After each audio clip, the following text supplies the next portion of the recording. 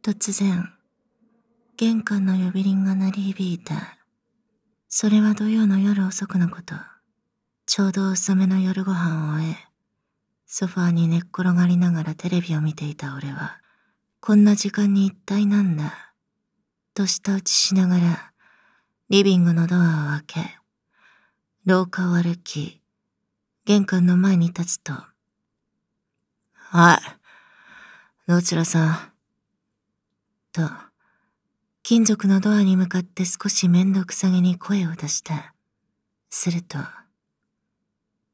夜分遅くにすみません。私、同じ階の住人なんですが、ちょっとよろしいでしょうか？と、遠慮がちな声がする。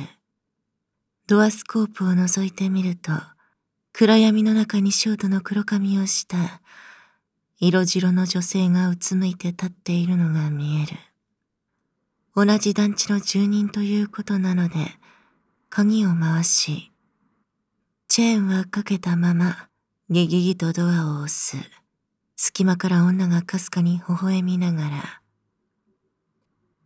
もしよろしければ、シチューいりませんでしょうか。実は晩ご飯にと思って作ったんですが、かなり余ってしまって。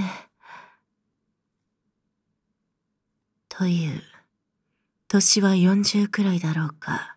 白のブラウスに紺のスカート姿で、両手に鍋を持っている。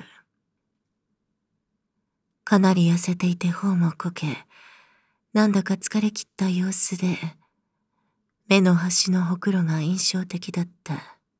俺は晩ご飯を食べたばかりだったので、正直にそう言った後、丁重にお断りをした。言われると女はとても残念そうな顔をしながらうつむくと、そのままドアの隙間から消えた。その後、寝床に入った後、暗闇の中、天井を見ながら、この階にあんな女の人いたかな？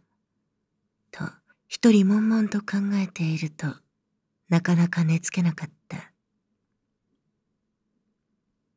翌朝の日曜日は、敷地内を反響するサイレンの音で目が覚まされた。驚いて時計を見ると、時刻はもう昼に近い。ベランダに出て、手すりから開花を見下ろしてみると、エントランスあたりに救急車が止まっており、ちょっとした人だかりができていた。その時俺は、住人の誰かが病気か何かで運ばれたんだろう。とくらい思っただけで、それ以上深くは考えなかった。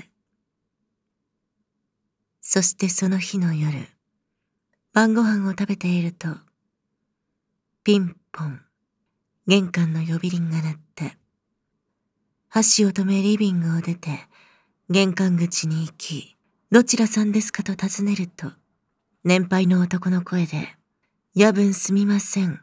警察の者ですが、という返事。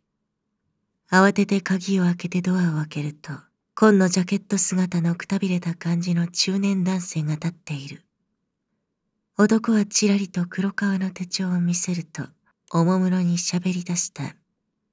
すみませんね。こんな時間に。ちょっとお聞きしたいことがありまして。わけがわからずうなずくと、男は続ける。実は今朝、この階に住む一人暮らしの女性が血を吐いて倒れているのを、訪ねてきた息子さんが発見されましてね。すぐに救急車に搬送されたのですが、間に合わず、お亡くなりになられました。後ほど食卓テーブルに置かれていたシチューの入った皿を検査したところ、中から高濃度のヒ素が検出されたんです。さっと、背中に冷たい何かが走る。じわりと生温かい汗が額に一筋流れるのを感じた。警察の男は俺の要望が急に変貌したのを察知したのか、何か心当たりでもあるんですか？と、いぶかしげに尋ねる。俺は正直に昨晩訪ねてきた女の話をした。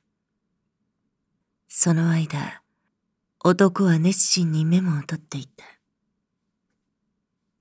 後日、再び訪ねてきた警察の男の話によると、シチューを持っていった女は、俺の部屋以外も数軒他の部屋を訪ねて回ったらしい。だが結局受け取る者は誰もおらず、その後女は部屋に戻ると、自らシチューを平らげ、中毒死したと思われる、ということだった。